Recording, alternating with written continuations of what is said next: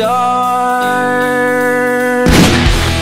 A thousand miles in poles apart. Yes, my daughter